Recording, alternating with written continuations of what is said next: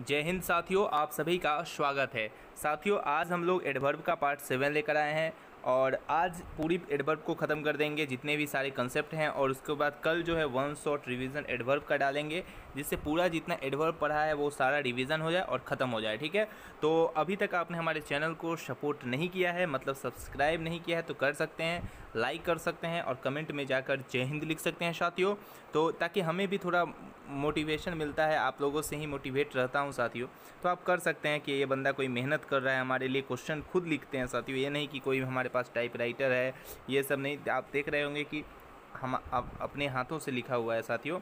तो आपको ज़रूर पसंद आ रहा होगा। सारा पीडीएफ मैं डालता जा रहा हूँ टेलीग्राम ग्रुप पर तो आप ज्वाइन हो सकते हैं। वहाँ भी लिंक दिया हुआ है डिस्क्रिप्शन में। ठीक है, पार्ट सेवन है और ऊपर से प्लेलिस्ट भी बन चुका है। आप हर एक पार्ट को मिस मत कीजिए साथियों। एक एक कॉन्सेप्ट के साथ क्वेश्चन बताया है। आप किसी भी जगह पढ़ो, इससे ज़्यादा नहीं पढ़ सकते। ये मैं गारंटी देता हूँ। इससे कम पढ़ सकते हो, लेकिन इससे ज़्यादा नहीं पढ़ सकते साथियों। पार्ट सेवन एडवर्ब चालू करते हैं। पहला question he thinks me dash a fool सबसे पहले इसमें ऑप्शन है एज़ लगाना है या एज़ नहीं लगाना है। तो कुछ बातें आप लोगों को याद रखनी पड़ेगी कि एज़ किसमें लगता है और किसमें नहीं लगता है। मैंने बहुत पहले एक फुल फॉर्म दे दिया था आप सभी को। C A M E N T का। जो बच्चे पढ़ रहे हैं हमसे रेगुलरली हमारे वीडियोस को देख रहे हैं, उनको ये फुल फॉर्म याद ही हो गया होगा। C A M E N T C for मैंने बताया था साथियों कॉल होता है चूज़ होता है और कंसीडर होता है। कॉल बताया था चूज़ बताया था और कंसीडर भी बताया था। ठीक है? ए से बताया था सारियों साथियों अपॉइंट ये बहुत इंपॉर्टेंट है अपॉइंट वाला ज़्यादा पूछता है। एम से बताया था मेक ई e से बताया था इलेक्ट ठीक है? एन से बताया था साथियों नेम आप लिख लीजिए, अगर आपको अच्छा नहीं लग रहा है तो सुन तो रहे होगे ना तो लिख सकते हैं आप इसका फुल फॉर्म टी से बताया था थिंक ठीक है? थिंक बताया था साथियों.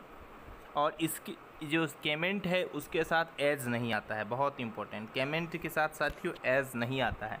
आपको मैं एक बार फिर से बताता हूँ, केमेंट के साथ एज नहीं आता है। और एक बार प्लीज़ नोट डाउन अपने कॉपी में कर सकते हैं। मैं एक बार फिर से बोल रहा हूँ सी से याद रखिए।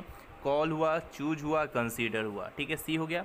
ए से अपॉइंट एम से मेक ई से इलेक्ट एन से नेम टी से थिंक इसके साथ एज नहीं आता है। नहीं आता। क्या नहीं आता है? हैज़ ठीक है? यहाँ लिख देते हैं एज नहीं आता है, ठीक है? तो आपको को पता चल गया क्वेश्चन है he thinks me dash a fool C M N T T से क्या होता है? थिंक थिंक के साथ एज आता है क्या? एज नहीं आता, साथियों तो यहाँ ऑप्शन ए हो जाएगा, ठीक है? He thinks me a fool second question he appointed me as a teacher साथियों, अभी मैंने बताया C A M E N T देखिए, ऐसे ही इधर साथियों क्वेश्चन आपको एग्ज़ाम में देखने को मिल जाएँगे। ए पॉइंट के साथ भी साथियों एज नहीं आता है, ठीक है?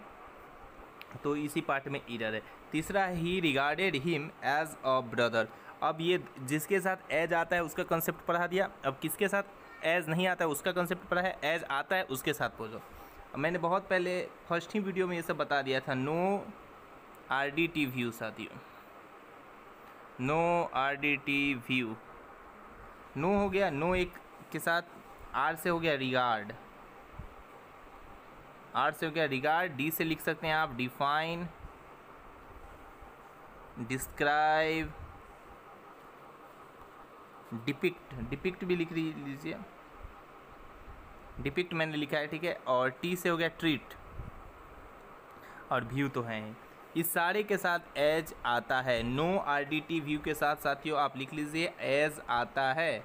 Know R D T view के साथ एज आता है और केमेंट के साथ एज नहीं आता है। आर से या लिख लो अपने कॉपी में। रिगार्ड डी से डिफाइन डिस्क्राइब और डिपिक्ड टी से होता है ट्रीट ठीक है? तो इसके साथ आप लोगों को एज लगाना है, ठीक है? प्लीज़ नोट कर सकते हैं आप। He regarded him as a brother regard के साथ क्या साथी एज लगाना है, बिल्कुल लगाना है, बहुत इंपॉर्टेंट ठीक है? तो तीन क्वेश्चन कराएँ और तीन कंसेप्ट साथियों मैंने बताया, ठीक है? क्वेश्चन नंबर फोर है साथियों। A man of fifty can't be called as young साथियों, ये क्वेश्चन आप देखिए और आप बताइए इरर किस पार्ट में पार्ट में है।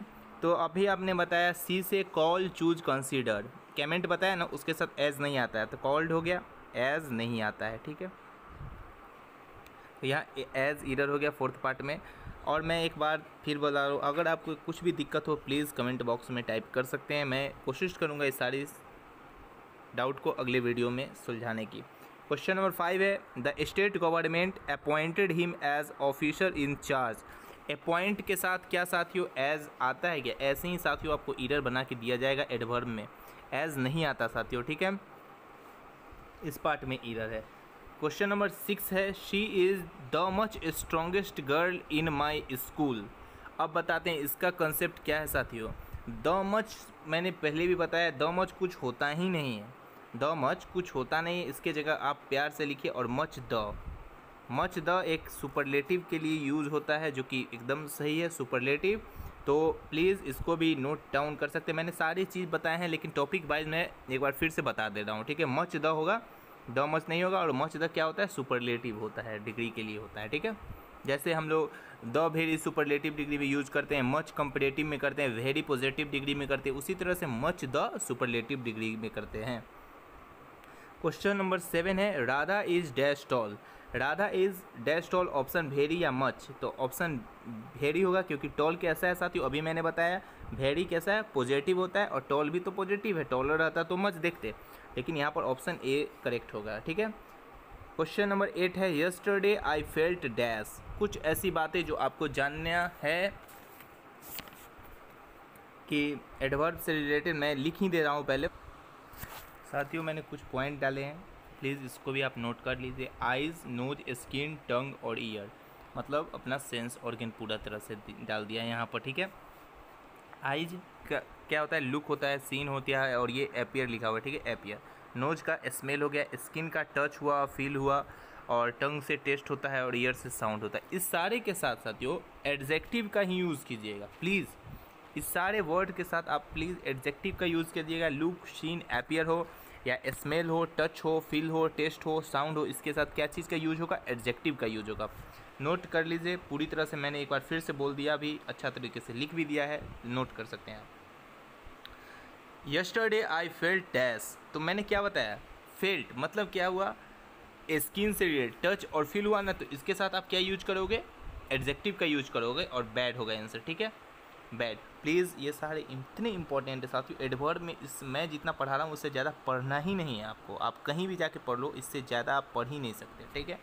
जितना सारे ट्रिक भी मैं बता रहा हूँ। ही फाउट डैश तो फाउट क्या है साथियों? बताओ आप जल्दी। भर्व है साथियों।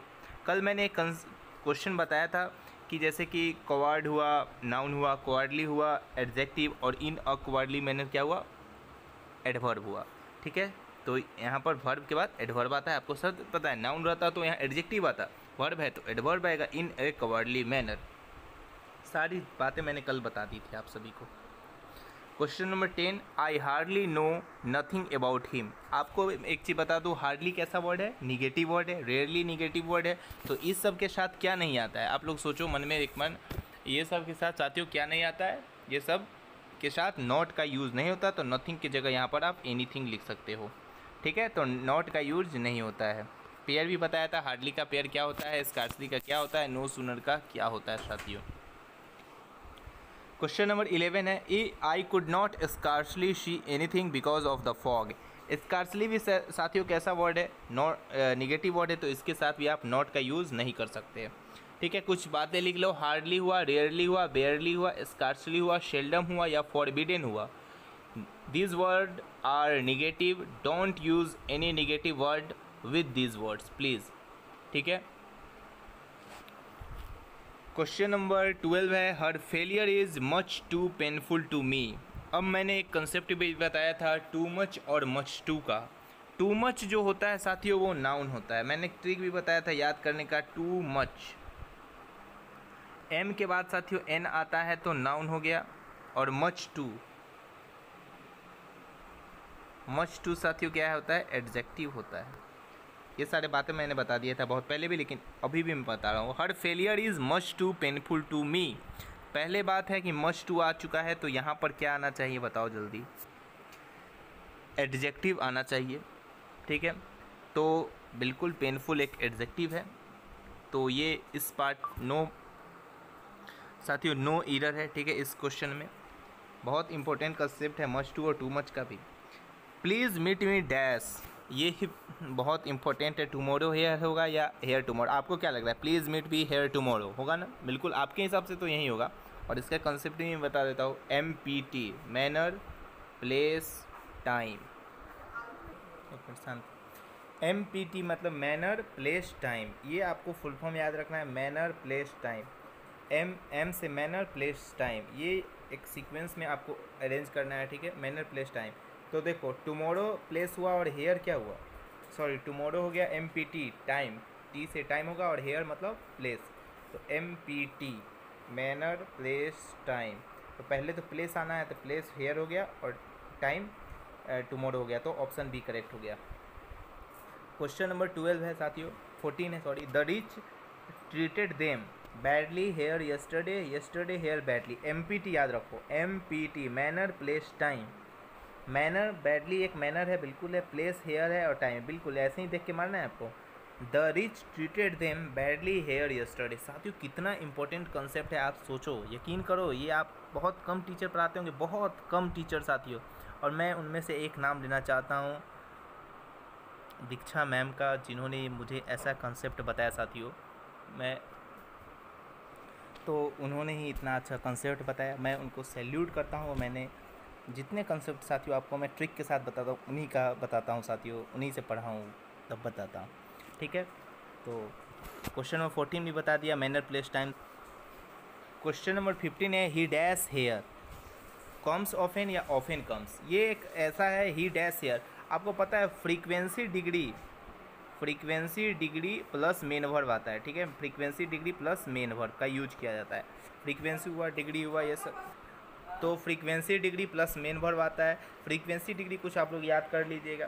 तो कम्स ऑफेन ऑफेन कम्स तो आपको पता है एक वर्ब है मेन वर्ब है और ऑफेन हो गया फ्रीक्वेंसी तो ऑप्शन बी करेक्ट हो गया। ऑप्शन बी साथियों करेक्ट हो गया ऑफेन कम्स ये सब याद रखो।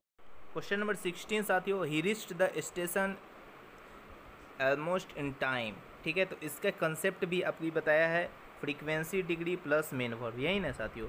तो ये है आपको फ्रीक्वेंसी और ये है मेन वर्ब तो क्या करना है? पहले फ्रीक्वेंसी डिग्री तो ही एलमोस्ट और उसके साथ ही main verb he almost reached the station in time ठीक है? तो इसका आंसर यहाँ ये आ जाएगा और इसके बगल में ये आ जाएगा okay question number six seventeen है they have dash faith in their guru too much या मच टू लास्ट क्वेश्चन साथियों, और सभी को पता है फेथ कैसा है नाउन है तो तो फेथ क्या है? नाउन है तो यहाँ पर टू मच होगा। मैंने कंसेप्ट भी बताया टू मच एम से नाउन तो टू मच हो गया। साथियों, अगर वीडियो अच्छा लगे तभी लाइक शेयर कमेंट में जय हिंद लिख सकते हैं। जय हिंद, जय भारत, वंदे मातरम।